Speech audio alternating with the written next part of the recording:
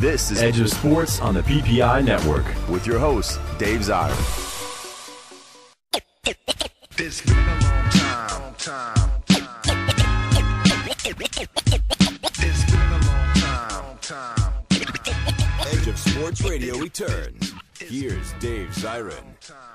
Boom, we're back here on Edge of Sports Radio and Jeebus Plebus. We are listening to Rakim, part of the legendary duo Eric B. and Rakim, just rejected for the Rock and Roll Hall of Fame in their first year of eligibility. A sign, if you needed one, that the Rock and Roll Hall of Fame is an incredibly illegitimate institution. Also rejected this year, War, one of the greatest groups of all time. I mean, just just profound ignorance as they continue to induct every single group that ever ripped off the Beatles. This is Edge of Sports Radio. I'm Dave Zirin. Our next guest is the author of the new book, Cuban Star How One Negro League Owner Changed the Face of Baseball. He knows more about the intersection of baseball and Latin America than anybody I've ever met. And given the news in baseball this week, he seemed like the right person to talk to. His name is Adrian Burgos. Adrian, how you doing, sir? I'm doing good. Very, very uh, excited to talk about Pujols and everything else that's been flying through the air this last couple of days. So, like, I mean, reaction one, please, because I mean, I was one of those people who said, okay, the Marlins will flirt with him, the Cubs might break the bank for him, he'll end up in St. Louis, and then out of nowhere come the Angels. What were your thoughts when you heard about the deal? Artie Moreno. He made his millions and perhaps even billions of dollars in advertising. And I was like, this is a typical Artie Moreno move. That's the Angels owner. the, the Angels owner. You know, this is a way that Artie thinks he can use Albert's prominence as a ball player to reach into Latin America, into the U.S. Latino market, and recoup all the money he's going to be paying Albert. And so, mm-hmm. why not go for the very best first baseman we've seen in the last 50 years? And yeah, I mean, I was like, I was stunned uh, just knowing that Albert was going to leave St. Louis, but yeah, it totally made sense that that Artie. And on the other hand, you know, I'd much rather ha- see Pujols playing for uh, Artie Moreno than for Jeff Loria. Yeah. the liar, the schemer, the guy who stole all the money from the the, the Unbelievable. schools in South Florida so that he can have everybody pay for his stadium. No, Unbelievable. much better to go to to, to La La Land. Yeah, and let's talk about um, Artie Moreno for a second. Uh, the only owner in all of Major League Baseball who's of Chicano descent. I think he's like a third, fourth generation American. Is that right? Right, right. yeah. So, you so it's not like he's uh, he's an immigrant success story, but still, he's a person of Latino, I believe, Mexican descent. Yes, Um, indeed.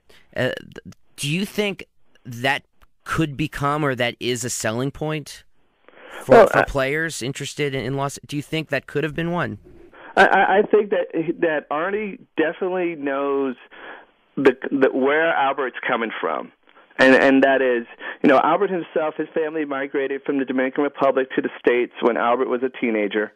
And he knows what it means to be respected for what you have achieved because Artie himself had to fight his way to get that kind of stature in the sporting world and in the business world.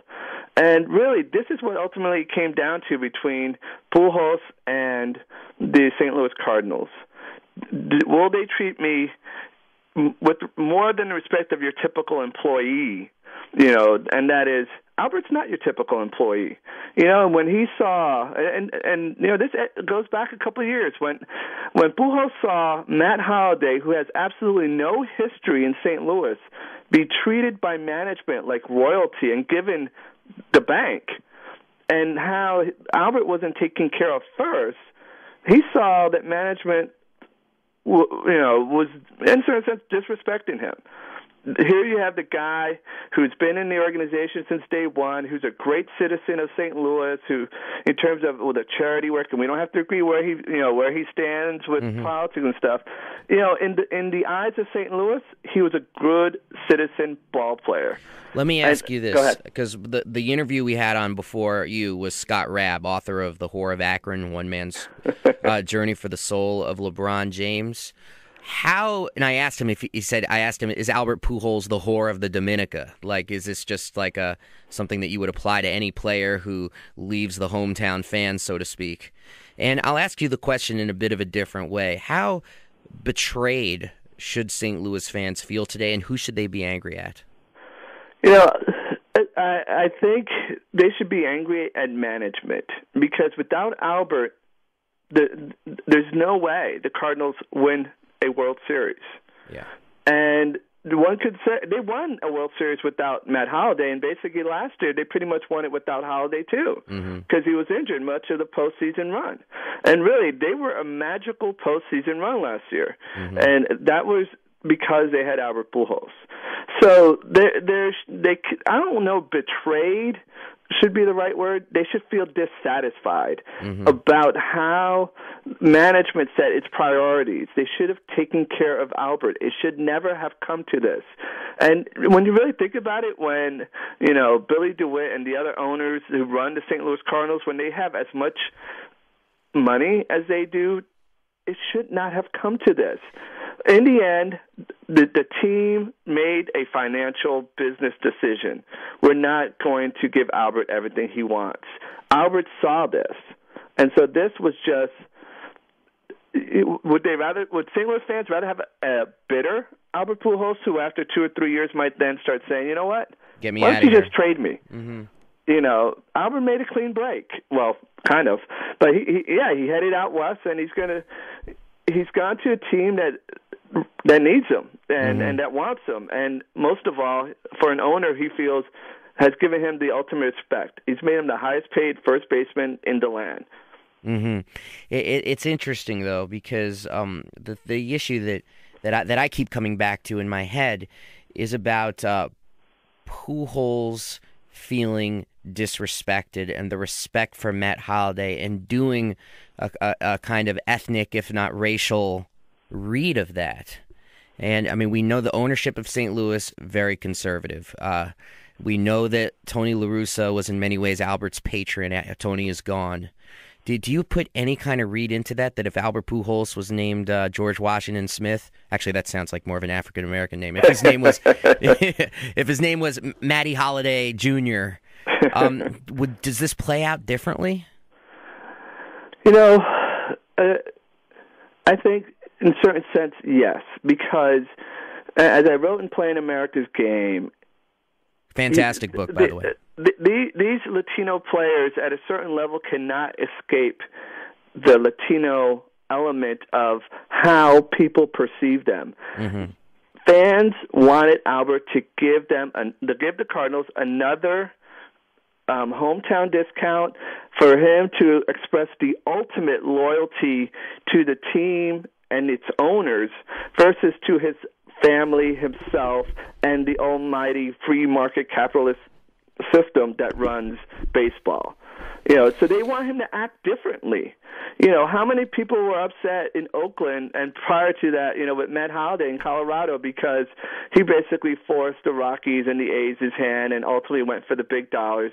That I say again, Holliday had nothing that the St. Louis Cardinals owed him, and they opened the bank for a player who's a gr- good to great hitter and a horrid outfielder. You know, and and you know. Pujols, because he's Latino, and there's a story of pulling yourself up by the bootstraps, and people fell in love with the entire narrative, and they want him to be the old time loyal player, you know, like a Musial, but Musial didn't have a chance to leave. That's not the way the system was structured in baseball back then. That's the way it is now. Um, they, they you, players do have the option, and this is why I put it in the laps of of management. They're the ones who allowed this situation to take place. But they, you know, they're they get away with something that's really interesting. They get they allow the fans to be mad at Albert Mm. because you know they now all of a sudden St. Louis is again a small market team. We can't afford, even though they they draw easily. Yeah, it's Three ridiculous. million dollars, uh, three million fans a year. You know, they're they're a big market team in a small market kind of thing because they're the tradition, the the, the whole marketing scheme of the St. Louis Cardinals is not small market. Well- you know, in terms of how they're able to reap in the dollars and everything. And the other fascinating thing is they made a business decision to let go of the biggest draw that they have. So I, I'm really interested in where they go from here. You know, they they, had, Well- they could have made uh, so many different decisions to get to this point. The new manager they hired with no field managing experience. You know, it goes on and on, and and. I don't know, and many people say that Pujols and Jose Oquendo don't have a lot of uh, affinity for one another. I don't know both of these men that way in, in terms of their relationship, but they saw how Oquendo has been a loyal. Adrian, we got to hit a hard break, buddy. I'm sorry. All right, I get the point, but like, let, we'll continue the discussion, okay, buddy? All right, let's do it again, man. Well, very soon. You better believe, because we got to talk Minoso. Hey, that was Adrian Burgos. You got to get his book, Cuban Star. You hear him talking. He's he's amazing. Uh, also, Scott Raab's book, Horror of Akron. I recommend reading it. Despite my disagreements for Edge of Sports Radio, I'm Dave Zirin. We are out of here. Peace. This is PPI. Breaking news, in depth coverage, unparalleled access to professional athletes, pro player insiders, with your host, Dave Zirin. Get more unparalleled access to pro athletes directly from the source. Tune in next week for another fresh edition of the show or anytime at ProPlayerInsiders.com.